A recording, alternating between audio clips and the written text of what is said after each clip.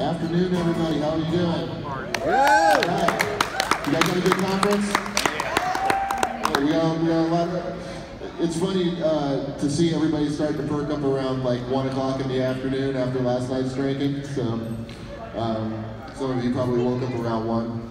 But, uh, but anyway, I'm glad you're all here. This is going to be a lot of fun. And um, text text your friends and tell them to come in here. All right, let's get let's get this crowd going. This is a little uh, uh, unfortunate because you. No, unfortunate for them. It's fortunate for you. You guys are going to get a hell of a show here. Um, this is something we've never done before, and, and I'm excited to be a part of it.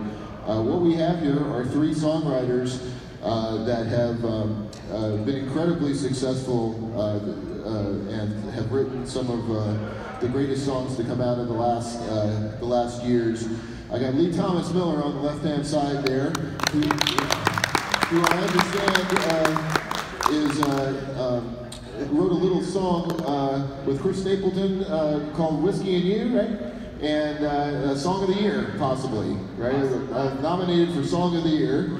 Um, uh, Lee is uh, very active in the National Songwriting Association, uh, Songwriters Association, uh, uh, and uh, is a, big advocate, does a lot of lobbying. Actually ran for Congress for a little bit, and we'll talk about that in a bit. But um, but has had a well, give, give me the, the quick synopsis of, of, of your, uh, like go through some of the songs that you've, uh, uh, you know, had hits with or maybe proud of? No, no, that, that steals the thunder from once we uh, sing them. All right, we'll do that then. Okay, fair enough. Fair enough. Can we get him at our monitor because it sounds like he's talking to us from Las Vegas. um, uh, to, uh, to Lee's right here is uh, Natalie Hemby. Uh, Natalie has written songs for Lady Antebellum, Little Big Town, um, uh, Justin Moore, a whole bunch of different, we'll, we'll, get to those in a little bit. And then to her right is Brett James. And uh, Brett is, and you guys are all locals, right? Is that now? We all live here. All live here. Yeah. Yeah. Brett, you might have heard a song called Jesus Take the Wheel. Um, there's one won a Grammy for that one, I hear. Yeah, and and and many others, and we'll get to some of those in a little bit. He's uh, produced Taylor Swift, Jessica Simpson, and among others, and so uh, real real treat here uh, to have all all of you three here. Um, let's let's start with uh, the business of songwriting.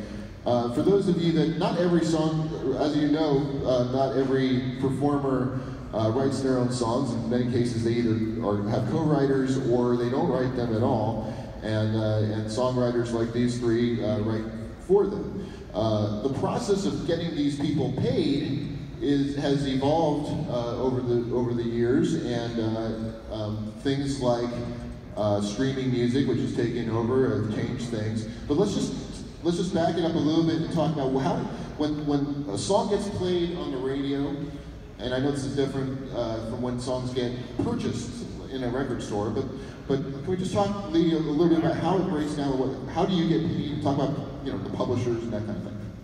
Just so break it down a little bit.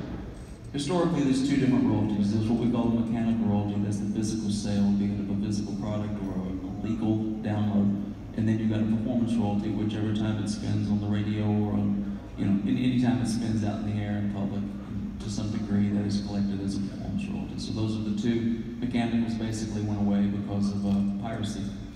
Uh, they, they kind of stole us blind. Washington, D.C. had no political will to stop it. So now we're down to the performance royalty and brings us to the, the digital era where we are struggling to stay alive because our business is incredibly regulated by the federal government. And uh, we've been fighting for years to, to get a better rate for a stream. And recently actually had some really good victories in that world. So, but that's that's the short, bloody story. um, can, the, can, can the three of you talk about how, and, and you know, I'm not necessarily asking you how much you make now versus then, but can you give us some some examples? I know Lee and I talked a little bit about one of them, but but but how 10 years ago or 20 years ago, if you, if you, if you sold it, if you had a hit record, you made this kind of money versus now if you have a hit on Pandora or YouTube or Spotify, you make this kind of money. I'll speak to that, I guess. Um, I've been doing it 25 years, and there was a period where um, you know, we used to sell CDs, and so we got a little. The government actually had a rate that we got paid per song. It went to all the songwriters per song per CD. We never got to negotiate that. We never did. But we were always kind of happy because we sold CDs and we sold physical music. And so those, like as Lee mentioned, those were called mechanical royalties. So that meant if you got a song on a Beatles album, oh, I never got a song on a Beatles album, but if you got a song on a, on a, I've had a lot of songs on Bon Jovi albums. You got a song on Bon Jovi album that wasn't a single, but it went on to sell 10 million copies. You got paid something for those 10 million copies. Well, but with the advent of streaming, all those 10 million copies went away. And so now if you write a song that's on the album, basically don't get any money at all. I mean, literally almost zero. And so, hey, I got a song on a Bon Jovi record or on a Aerosmith record, or you know, in a newer world, on a Nick Jonas record or a Taylor Swift record. Um, you still don't get any money unless that song is a single and makes it to the radio. And that's where we now make about, believe it or not, we make over 90% of our income is FM radio. So that's a bit of a dated way to make our living as songwriters, where, where everyone knows that streaming is the, is everything and the wave of the future. Um, so we, but we still make 90, over 90% of our income off FM radio because streaming pays so little. It's 0.000008 cents per spin, stream, something like that which ends up to be around $3,000 per 100 million streams. So if you guys can make a living on that, then good luck. But we can't. And so that's why we're fighting to try to get our rates, our streaming rates up. And, and the odd thing about this whole game, and we could go into big detail, but I'll, I'll, the real simple version is we've always been paid for FM radio. The singer has not. There's two different sides to this, right? There's the, there's the songwriters, the people that create and the, and the publishers involved, and then there's the singer. That's called the sound recording. On FM radio, we have always gotten paid. We're one of three countries in the world that doesn't pay our singers on FM radio. The other two are Iran and North Korea. Every other country on the planet pays their singers for singing on the radio. We don't. And that's because in America, they decided years ago that that would be more like advertising. If you're on the radio, it, it allowed those singers to go. And it's true, they have many other forms of income besides, you know, that songwriters don't have to exploit those works. So they're out tonight playing concerts, making millions of dollars. They're selling merchandise with our titles all over them, making millions of dollars. We don't have the ability to make those forms of income. So that's just kind of always been the excuse in America for not paying our singers for, you know, our, and, and paying our songwriters for FM radio. Now what happened, and it's a really long story, but the, the bottom line is, when streaming came out, all of the digital services made deals with the labels and not with the songwriters. And so for the past decade or so, the streaming's really been a big deal. I write the song, a singer sings the song, he gets paid 8 to 13 times more than I do. So that makes no sense either, right? So it's all just upside down, really confusing, really complicated, but that's sort of about a, a, a you know a five cent version of the story. But if you unplug FM radio, every songwriter in America is working at John's. Yeah, yeah there is no there is no American songwriter without FM radio, and that's that's something to take home. Yeah, just a quick question. Um, just let's just poll the audience real quick. Uh, how many of you still listen to FM radio with any regularity? All right, good. So you so you got. How many of your kids and grandkids still listen to FM radio with any regularity? Yeah, one. That's a different yeah, thing. Two, yeah. Um, Natalie, does this? Uh, and I'll ask one more question. We'll get to the music for a little bit. Natalie, does this? Um, you, obviously, three of you are performers, and, and this this could be for all of you. Does this force you into performing? I mean, does this make you? Uh, you know, obviously, it's harder to make money as a songwriter now. Do, do, do you find yourself booking more gigs now? Absolutely. Um, you know what? Back in the day, when we were selling CDs, um, there were people who you didn't have to have a single on the radio to be successful. If you got a song on a record, it was a huge deal um, because you got part of the mechanical royalties, and um, and it was just a much higher rate back then. But nowadays, if you just have a song on someone's record, yeah, it doesn't pay great. It had the record has to sell, and they don't sell much anymore. Some of them still do, but it's it is on the downside, on the downtrend.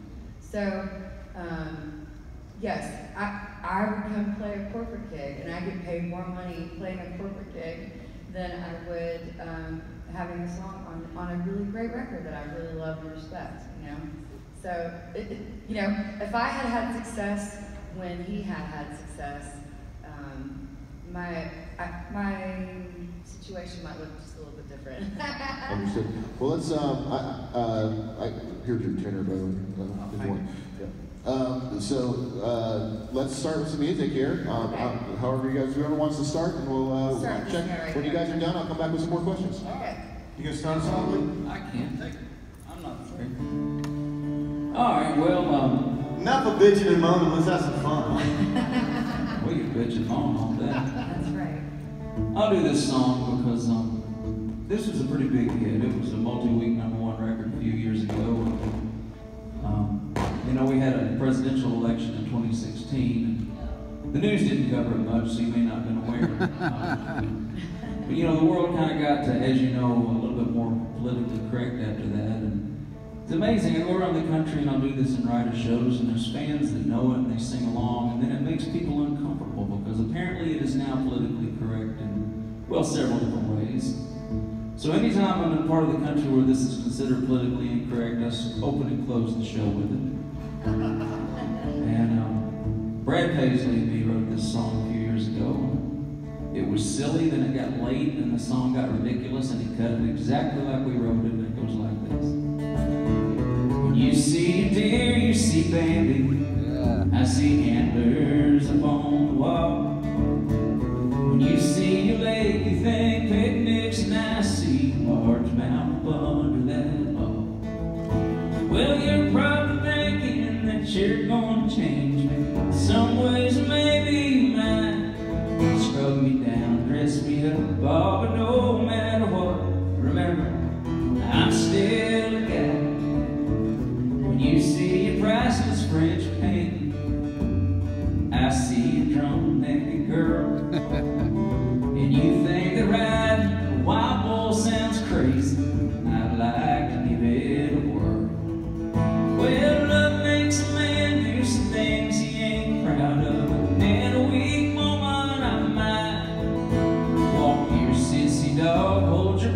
Your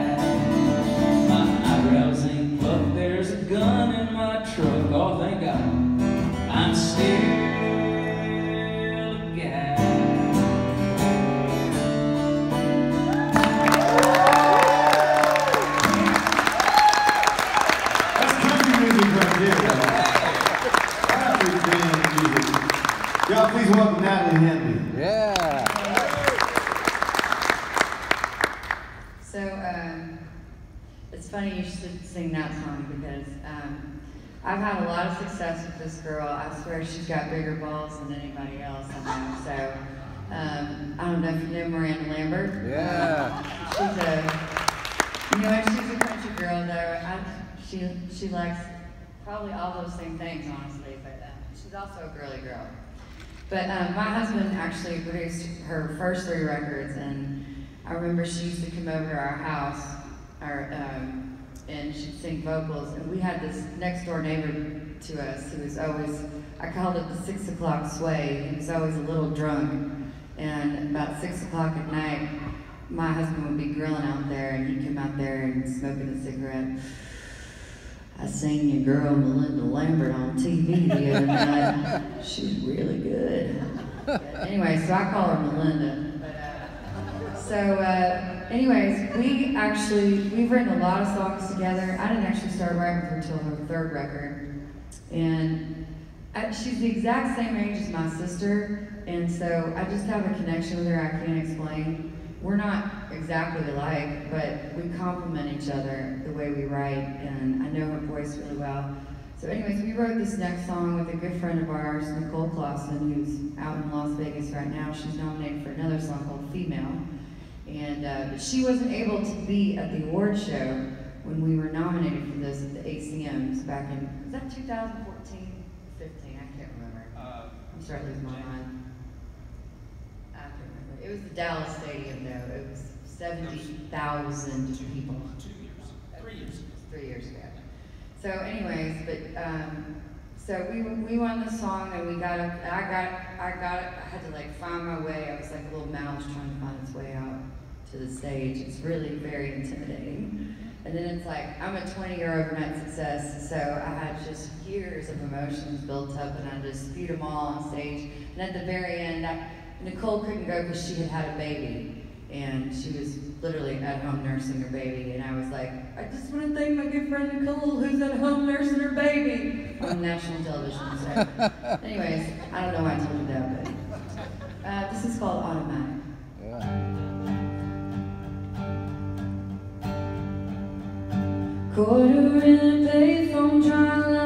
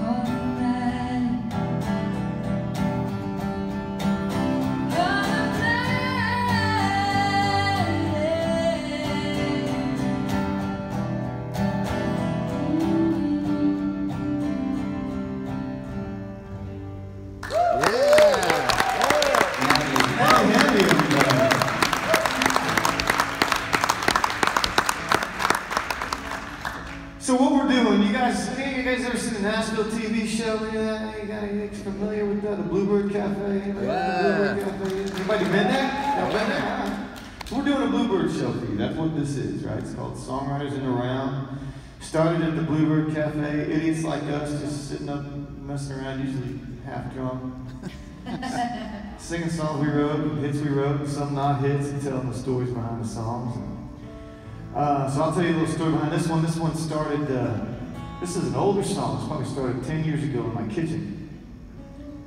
And I was standing in my kitchen uh, about 4.30 in the afternoon on Christmas Eve. And my cell phone rang. And I don't know why I picked up on Christmas Eve, but I did. And, a buddy of mine on the other end of the line, he said, uh, hey man, that's way he talks. He says, hey man, what you doing day after tomorrow? Now I had four young children at the time, and it was Christmas Eve.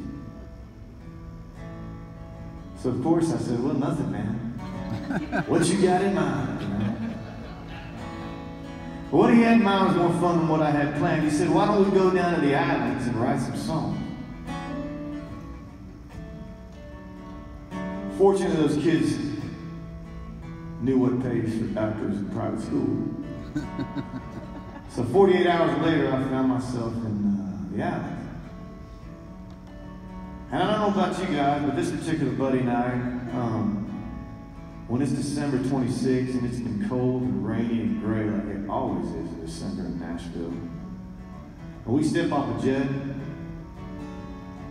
we feel that warm air and smell that salt breeze, we can tend to go just a little bit crazy. Anybody do the same? You know, that world, yeah. So we did, and uh, next morning I was sitting on his back deck, this guitar actually I'm holding right now, and uh, I must have waited two or three hours just drinking coffee and strumming a guitar and looking at one of the prettiest views I'd ever seen in my life. And finally, the back door kind of creaked open. And Kenny Chesney stuck his head out and he looked at me and he said, Brett, we went out last night. and I said, yeah, we did. And maybe that's the song we're going to write today. So I started strumming this little groove and I went, ba ba ba ba da da da. And Kenny went, Ba, ba, ba, da da we just started kind of talking and laughing. A couple hours later, we had this song. Y'all sing it if you happen to know it. Yeah. We went out last night like we swore that we wouldn't do. We drank too much beer last night, a lot more than we wanted to. There were girls from Argentina and Arkansas, Maine, Alabama, and Panama all mixed together and having a ball. Oh, we went out last night. One thing started leading to another.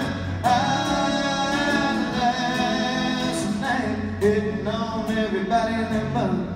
Were two karaoke girls drunk on the dare,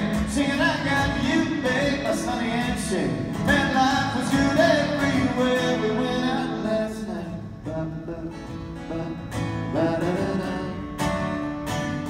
Well, you know I'm a music man And I grew up in East Tennessee But last night I was everything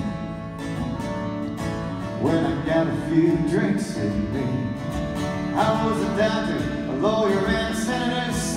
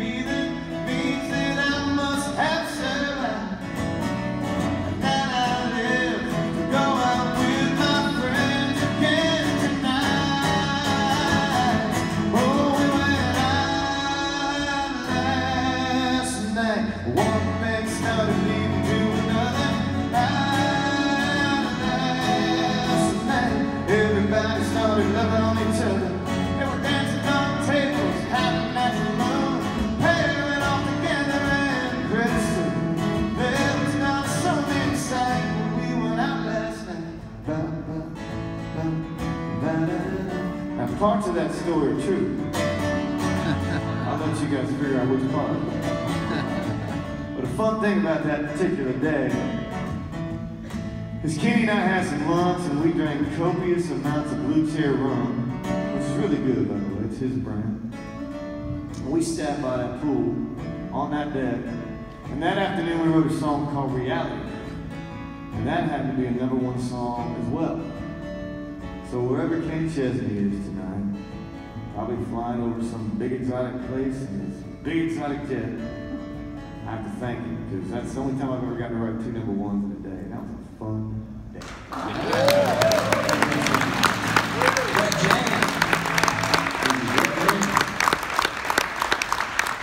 All right.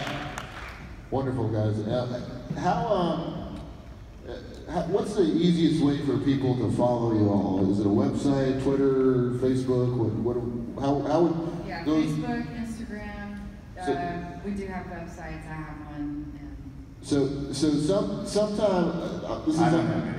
It- Not even on Facebook. That's not true. Facebook's You, you just got this cool new MySpace page. That is fantastic. You got So- some pictures done at Olan Mills. You need to check it out. So, re- so listen, don't don't wait for uh, by by tomorrow. Half of you won't remember today. So uh, so I, I would very much encourage you at some point to take your phone out, look uh, look up all three of these uh, wonderful performers of and, and uh, get on some kind of way. You know, find some way to connect with them because the, they're all from many of them are from out of town and. Would like to probably see you guys somewhere along the way, and if you're performing and touring, so uh, so let's make sure we uh, make that happen down the stream, and then you can come up to them and, and uh, you know, say, hey, I saw you in that. thing." Uh, if the price is right, we'll come to your living room. That's right. yeah, yeah. So um, so let's talk politics uh, a little bit here. Um, you, you said you're not on Facebook. You're, are you? Was that a joke? Are you No, not? really not. You're not I'm on social on any media. social okay. media. Okay. No. All right, but but the two of you are Twitter, Facebook. Oh, we're huge. Okay. We're huge on InstaWeb. Just look it up. So, um, are you uh, are you tempted? And I'm not asking you your personal politics here, but but are you tempted to uh, weigh in on on politics? And do you ever worry about the effect of weighing in on your careers or on your artists' careers? That's a great Great question. question. I think that, I- think in this day and age, anybody's a little timid to weigh in on politics. Um, Probably because there's a lot more bridge burning than bridge building going on. I, I love social media, but I also don't like it because it, it does destroy a lot of relationships and conversations where I feel like if you're sitting in front of somebody, it's a completely different thing. I mean, I have different views on all types of things, but when I sit and talk to someone who has an opposing view and look at their eyes and, and see what they're saying, I, it, it creates a whole different conversation. And so, yes, I don't get on, I don't, I don't go off on political rants. Um, I try to be kind, and um, it's not that I'm not taking a side. I just, I, I feel like it's a never-ending fight. Do you are you self-centering because of your audience? You, you don't want to isolate your audience, or just because you just don't like doing that? No, I, you know what? I don't really. My audience is probably all types of people, and um, every everyone has opposing. Not everybody likes my songs, you know. So I think everyone has opposing views, and unless I can really sit down and have a conversation with somebody, I don't always weigh in. I the only time I maybe do, you know what, um, is if it maybe affects me personally. You know, I, I- I definitely weigh in whenever we're talking about songwriter rights. Intellectual property is a big deal. Lee actually ran for Congress, so I think he's an interesting Yeah, guy. and I, I, we're going to get to that too. But I, but Lee, you, you, you played a song that was arguably slightly controversial. And uh, what, what, what did Stephen Colbert uh, call? What, you said on the on the phone it was. Oh no, well there was a song. Uh, so we, we have four kids and, and we adopted three times, and, and so we have multi-ethnic children, and, and because of that, Brad Paisley, being a, a, a dear friend for a long time, he had, he had this idea he wanted to write, basically because he had been called racist for for things that were ridiculous.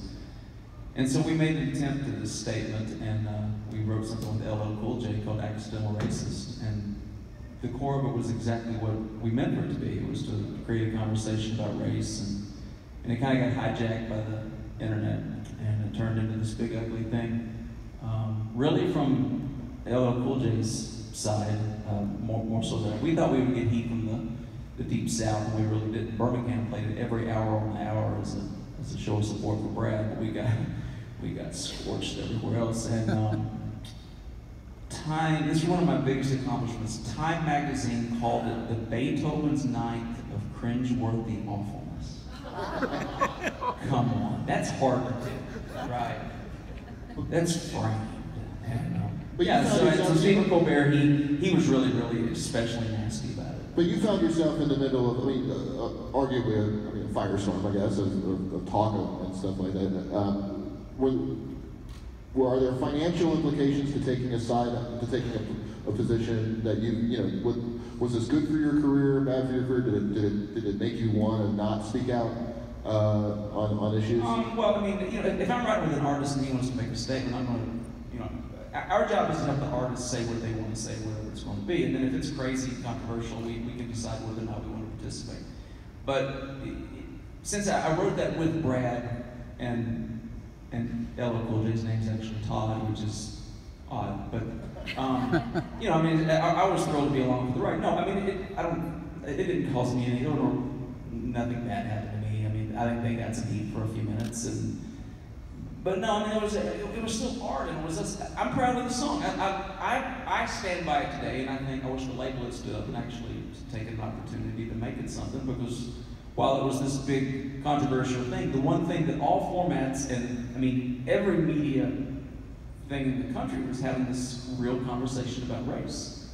Which after they got done mocking us, then they actually were having a conversation we were asking them to in the first place. Brett, you've uh, you, you produced Taylor Swift in the past, and, she, and recently she uh, came out uh, against the NRA, for example. I'm not asking you your position, but but is there a part of you? I don't know if you have a fidu- fiduciary stake in this stuff anymore, but but is there a part of you when an artist comes out does take a statement that you're like, ah, you know, like this is gonna this is gonna hurt hurt me somehow? No, that's that's never a consideration. You know, I think people should get to say exactly what they want to say whenever they want to say it, as far as their politics are concerned. I mean, I just, I don't much, but I respect people that do because they're willing to take the heat for it. You know. Let me let me ask you guys a, a, a creative question. Are you um, do you write when you're writing songs and song lyrics? I mean, if you write about real life, real life gets controversial and political sometimes.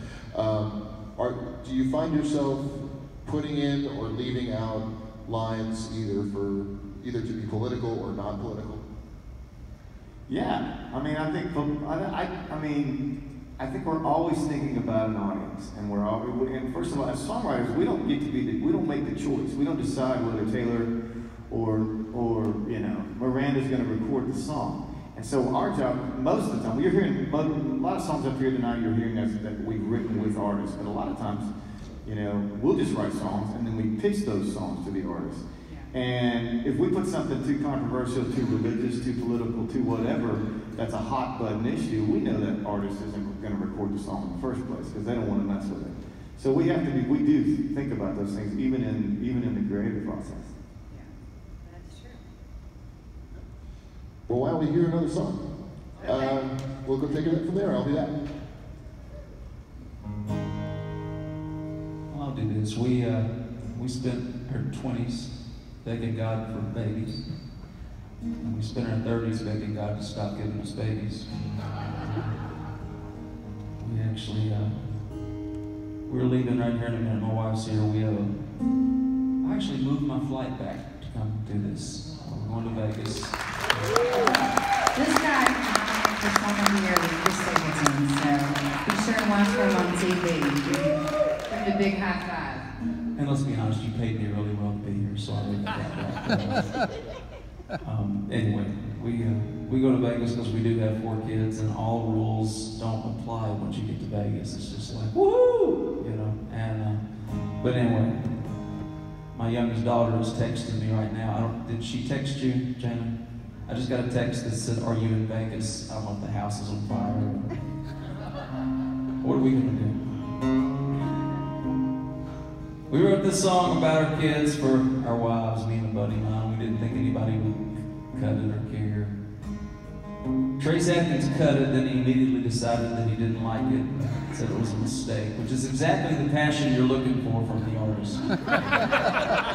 and when I said, uh, hey, how's, how's my cut looking? And they said, yeah, well, Trace has decided that it's a mistake. He said, nobody's going to care about this song. I said, that's kind of harsh.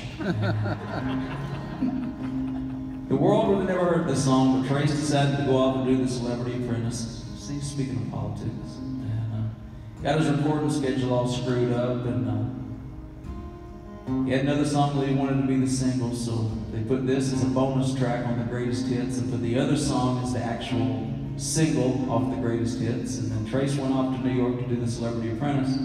His single came out, and about three weeks later, it died at about 58. And I got the call, hey, they're putting your song out as a single as a time filler. And nothing says putting four kids through college like time filler.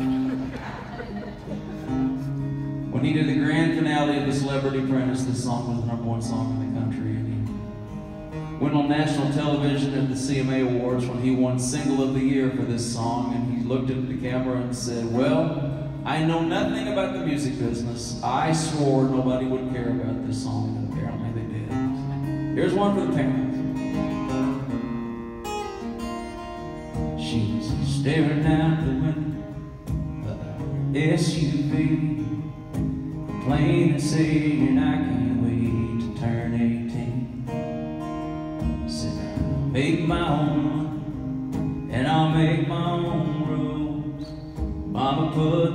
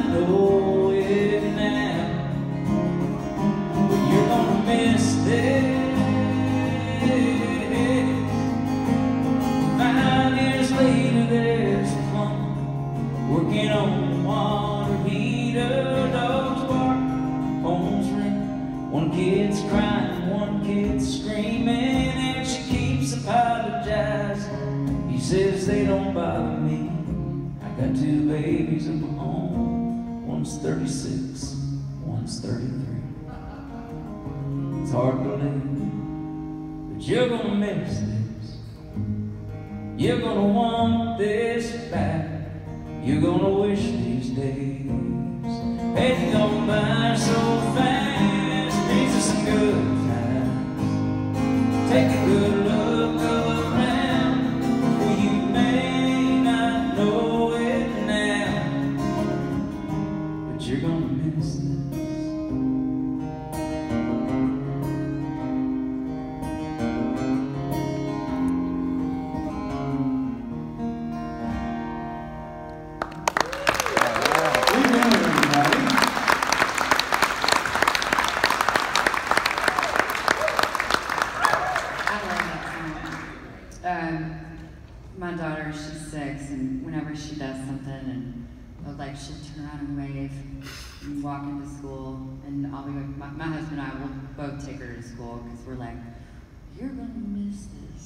it always plays in my head. It's one of my favorite songs. Um, you know what? I, I don't know what to tell you about songwriting. It's really funny because you can write songs about your grandma who just passed away, who fashioned you and made you through life. And then you can write a song about a boat that'll just, people lose their shit over. Yeah. And uh, for me, that's kind of the case. I mean, I, I, I feel sort of bad for my co-writer Barry Dean, who is a phenomenal songwriter. He's written Song of the Year 50 times, but nobody knows it yet. So, but um, anyways, so if you, I wrote this song uh, with my friend Luke Laird, Barry Dean, and we were just kind of joking around because I had written another song with Luke called Fine Tune, and somebody thought we said pontoon. And so, in true immature fashion, I was like, Luke, we should write this really obnoxious, dumb song called Pontoon. And so um, we did, and we had a blast writing it. And then, um, oddly enough, it started getting pitched around Nashville. I'm like, that's weird. I mean, I didn't know this would actually be something. So then they pitched it to Dierks Bentley. He passed, which I can only take personal, but um, then also uh, Kix Brooks, he was like, I love this song. I'm not going to cut it, but I love it. Okay. So then a Little Big Town ended up cutting it and made it a smash and a huge hit.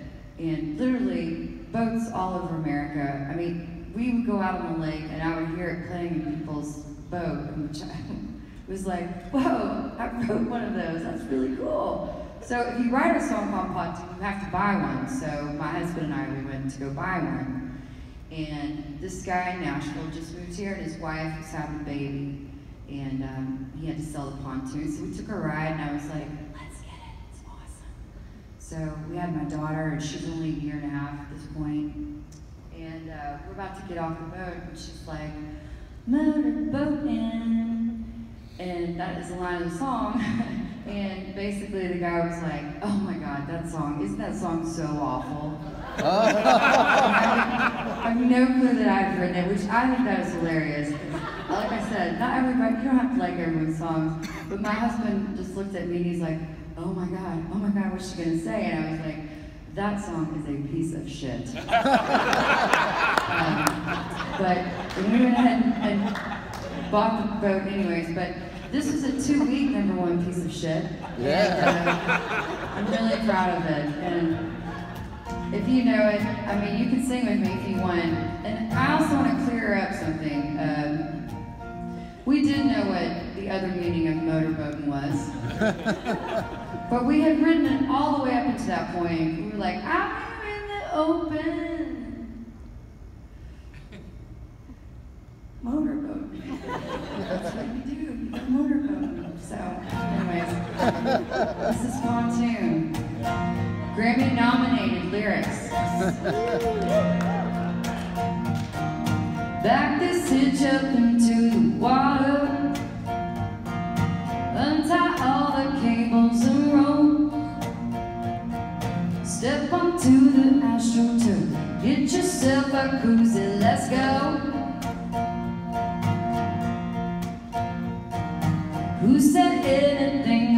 about skiing?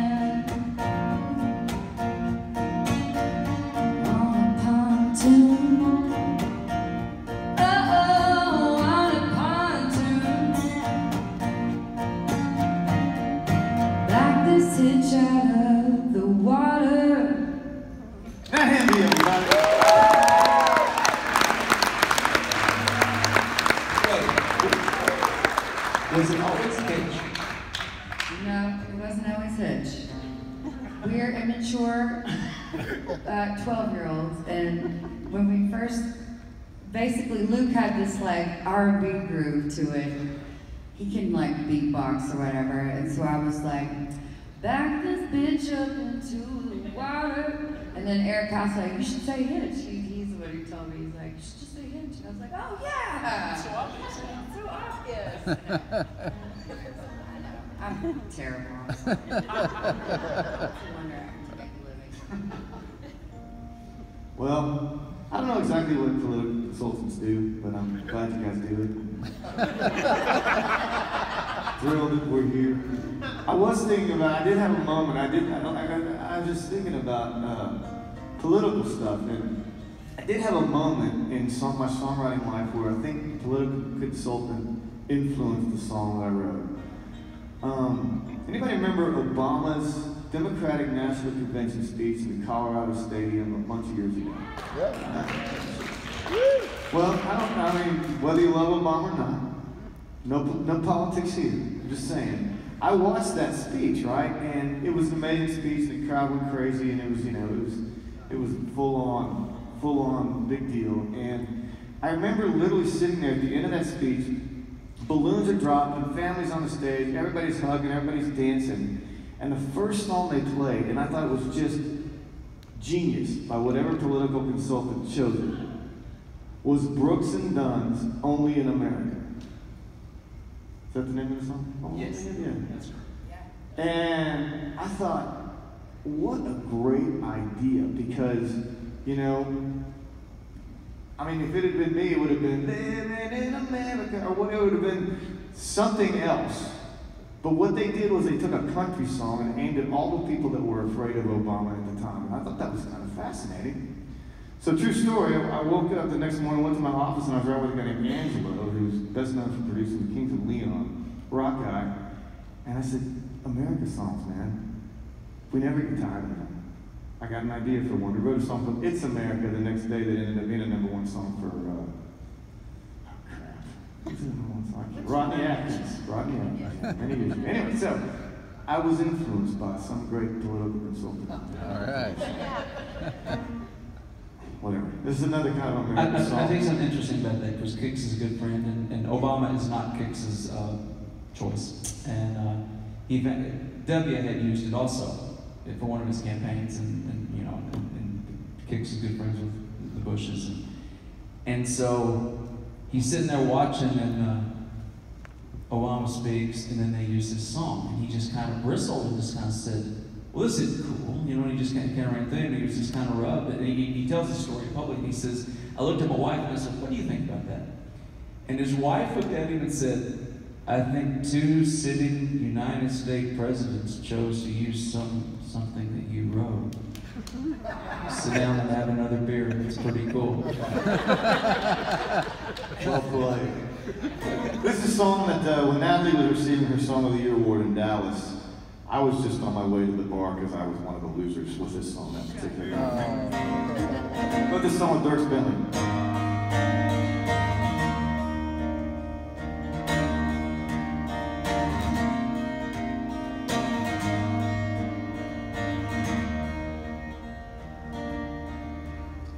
It's just an old beat up truck. Some say that I should trade up now that I got some jangle in my pocket. But what they don't understand is it's the miles that make a man. I wouldn't trade that thing in for a rocket. What they don't know is my dad and me, we drove her down to Tennessee. She's still here and now he's gone. So I hold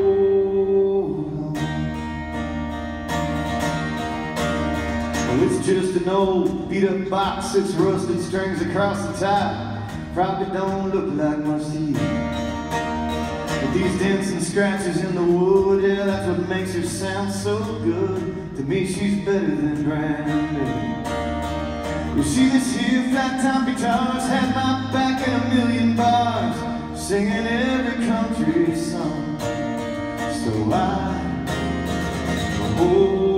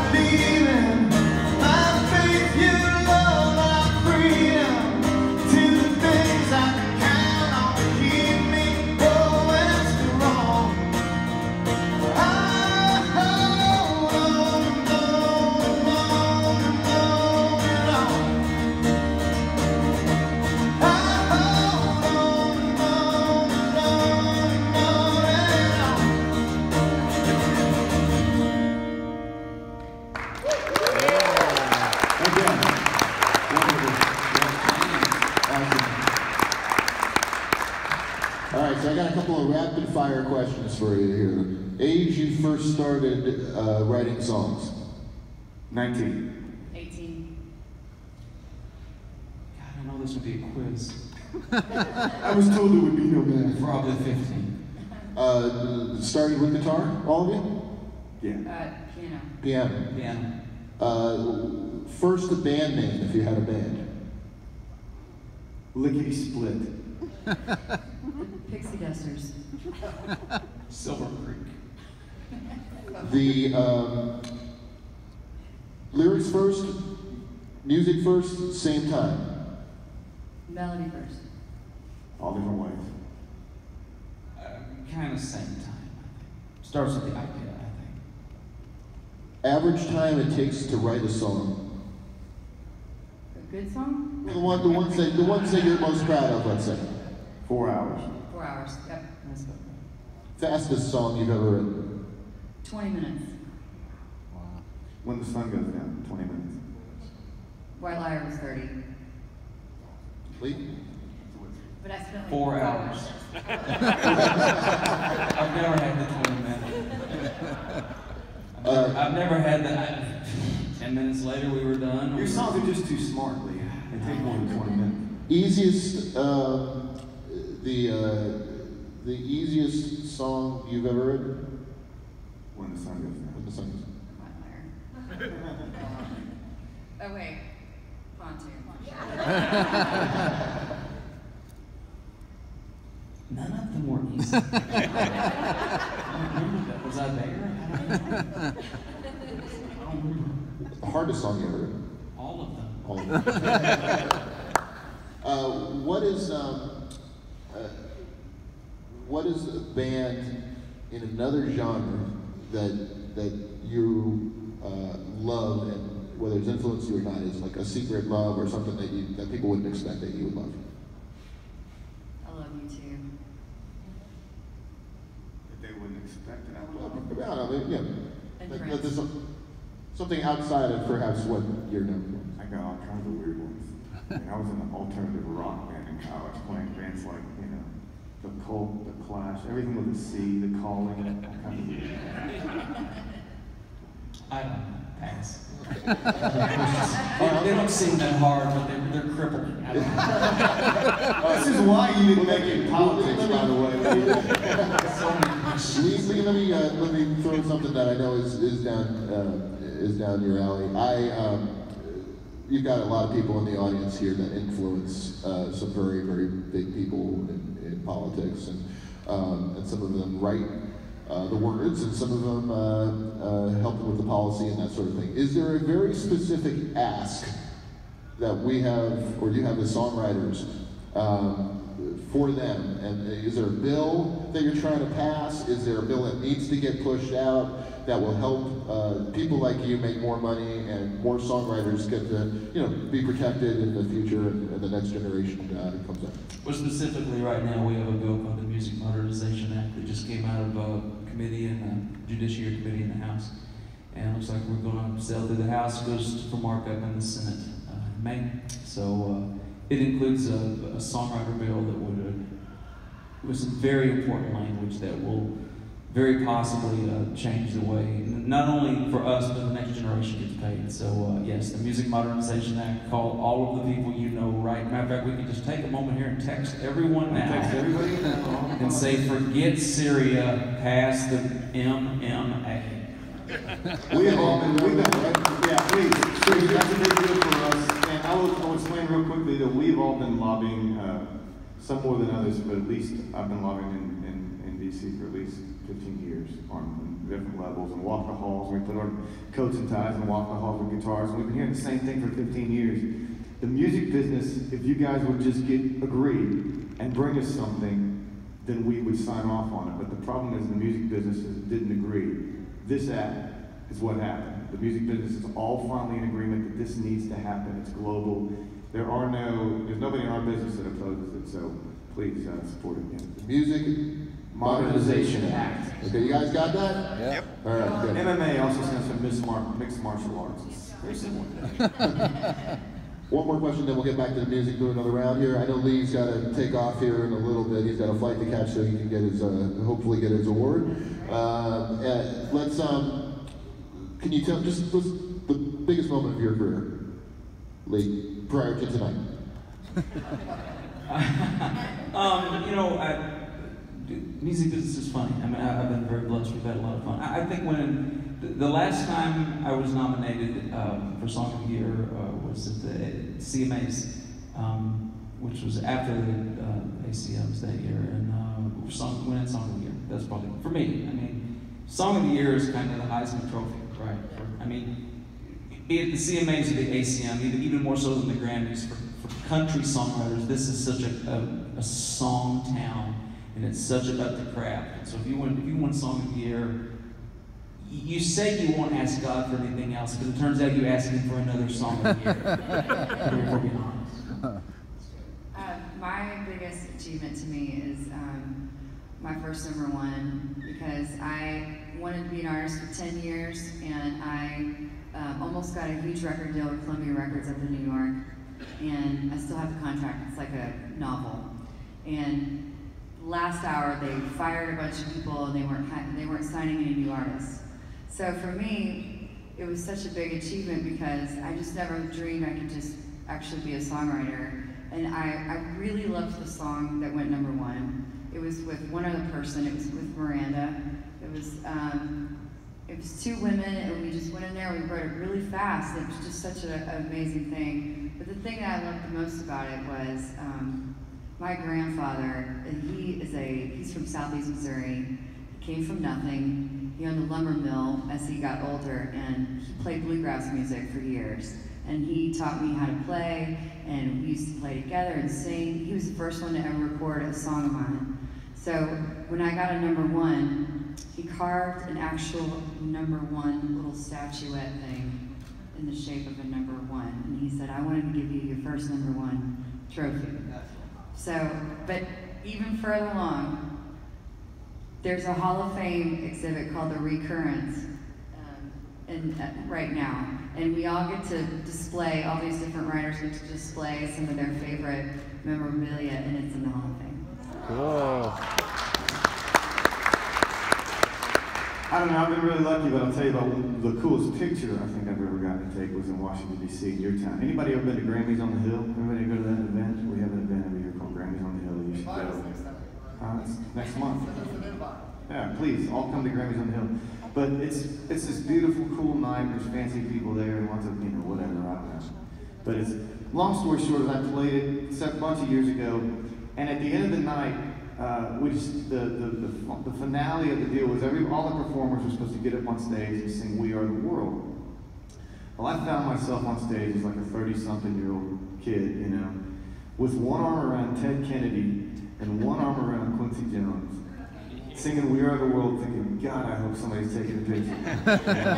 and sure enough, that picture was on the, the cover of Grammy magazine, and I mean, that's it, it's not going to get better than that for me. That's pretty cool. Great story. Let's uh, get back to music. Cinnamon? Let's do this. This one uh, song of the year, and you, you, you think you're going to be cool, right? You're going to act like you've been there before. Well, the problem is if you've never been there before, you just act like a goober. And, uh, Jennifer Love Hewitt gave this award out, and we're around famous people all the time. We're used to famous people. Our best friends are famous people, but I never met Jennifer Love Hewitt. And as I walked on stage in Vegas and she handed me the award for Song of the Year, I looked at her and had this very awkward moment where all I could think to say was, "We loved you in Party of Five," which she didn't think was as cool as I did.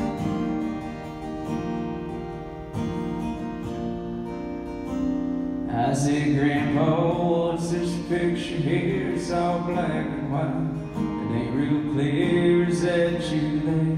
He said, yeah. How was eleven? Times were tough back in 35. That's me and Uncle Joe just trying to survive a cotton farm. And a Great Depression. If it looks like we were scared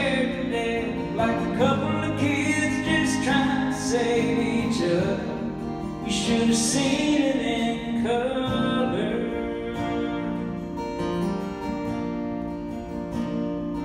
And this one here was taken overseas in the middle of hell in 1943 in the wintertime. You can almost see my breath. That was my tail gunner, old Johnny McGee. Was a high school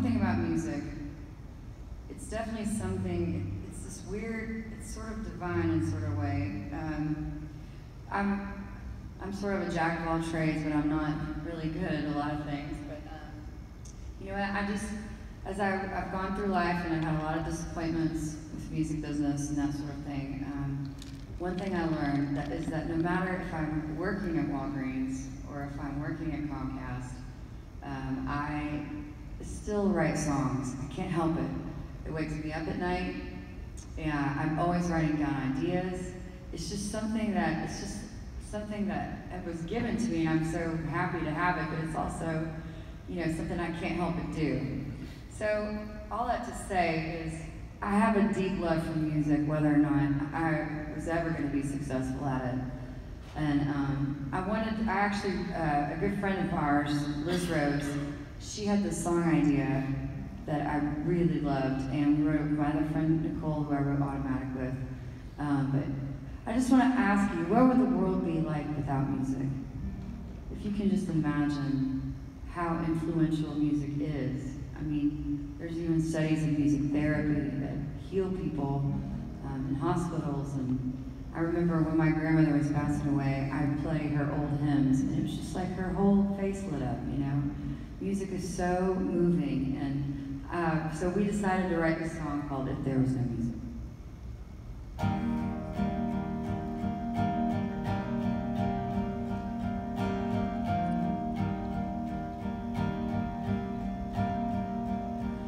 Would a cowboy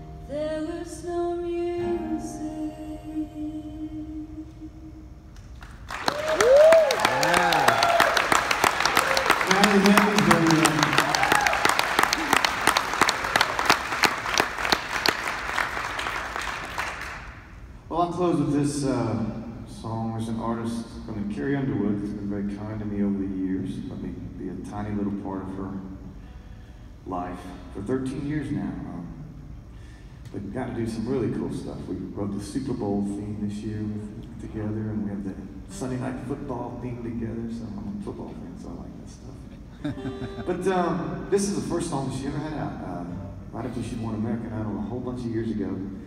And um, you know, as songwriters, you know, we are we have crazy jobs. I write, you know, we write silly songs and sexy songs and songs that you're supposed to dance to and songs you're supposed to make out to and you know, songs that are just supposed to. We, we write a lot of stupid crap. That's what we do. but occasionally, you write something that means something to people, you know, and. Um, and you write a song, and all of a sudden you're getting letters and you're hearing stories, and you're like, wow. And people are coming up to you saying, man, that touched me at a time in my life where I needed to hear it. And then we have this, we do have this amazing thing called radio, and you know, if it's the right song at the right time on the right, in the right realm, then those people are in Australia and New Zealand and London, and they're coming up to you saying, I really needed to hear that at that time of my life. And, and you're thinking, we wrote that in four hours in a living room in Nashville, Tennessee, and that is kind of a, a beautiful, powerful thing. Um, when you hear those stories, this song was we were lucky enough to win a Grammy for, but when you hear those stories, that's way cooler than winning a Grammy. That's, that's when being a songwriter is a, is a really special gig. We're very, very blessed even though we bitch and moan a little bit, we're very blessed to get to do this job. Thank you guys so much for joining us today.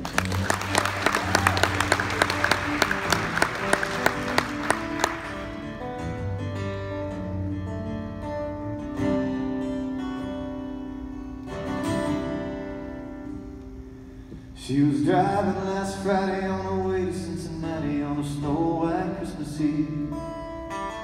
Going home to see her mama and her daddy with her baby in the backseat. Fifty miles to go and she was running low on faith and gasoline. It'd been a long, hard year. She had a lot on mind and she didn't pay attention. She was going way too fast. Before she knew what she was spinning on a thin black sheet of glass. She saw both the lights flash before her eyes. She didn't even have time to cry. She was so scared. She threw her hands up in the air. Jesus, take the wheel. Take it from my hands. Cause I can't do this on my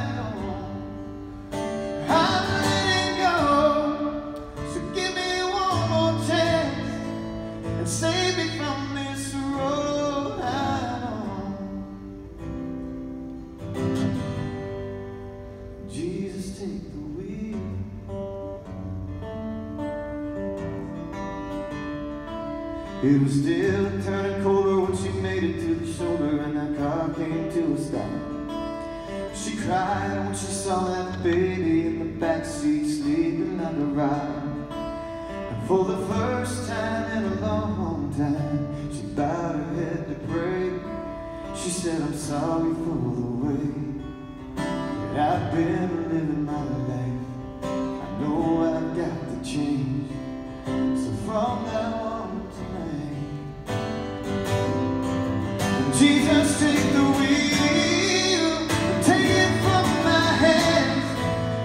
I can't do this